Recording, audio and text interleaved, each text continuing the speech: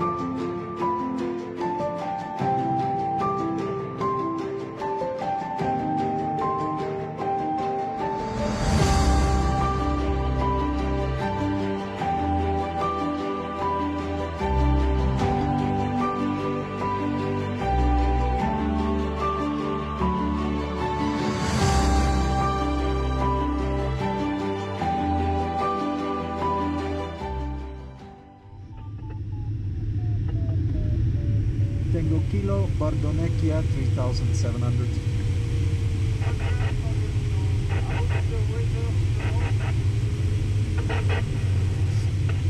Looks uh, good, cloud base 3800. Um, heading in the, yeah, checking out the Modane Valley, but it looks uh, looks good.